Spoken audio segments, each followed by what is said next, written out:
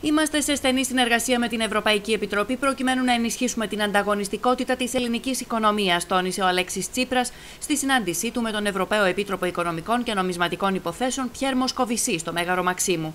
Οι δύο άντρες υπογράμμισαν ότι η Ελλάδα βρίσκεται στο σωστό δρόμο. Εξέφρασαν την αισιοδοξία και τη βεβαιότητά τους για την ολοκλήρωση των τελευταίων βήματων, με τον Επίτροπο να επισημαίνει ότι η έκθεση της Κομισιόν κάνει λόγο για εντυπωσιακή πρόοδο στις μεταρρυθμίσεις. Greece is not uh, in a bailout program. Uh, uh, so this means that uh, there is not guidance is that we have to follow, but advices.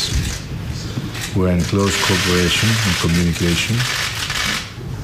We're co-workers, but we're not at the level that we were before when uh, uh, you were in the side of uh, the creditors and we were in uh, the side of uh, borrowers.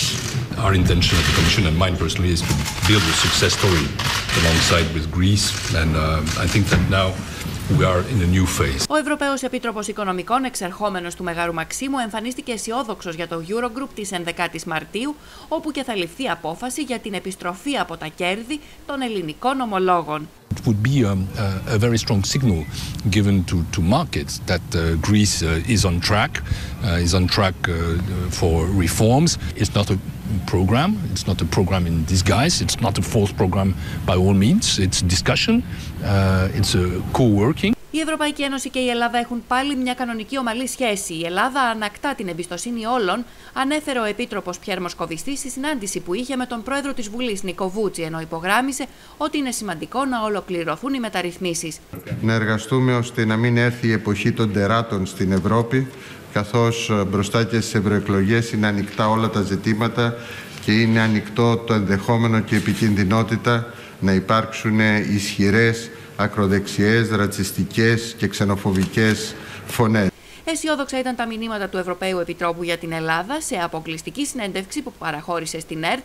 Ο Ευρωπαίος Επίτροπος Οικονομικών και Νομισματικών Υποθέσεων μίλησε για την ελληνική οικονομία, για την οποία είπε πως βρίσκεται σε φάση ανάκαμψης, ενώ τόνισε την ανάγκη συνέχισης των μεταρρυθμίσεων. Well, Greece is now in a clear recovery process. Uh, growth in Greece has been at 2% in 2018. Uh, there should be also uh, growth in 19 and 20. And so I think Greece is on the right track. Uh, we need to uh, create a success story for Greece, like we did for Ireland or for Portugal after the program. I think there is capacity here because there is so much creativity, uh, so much skills, so much intelligence, and of course natural assets that are absolutely huge. This is a country of opportunities, but for that you need to go on with reforms.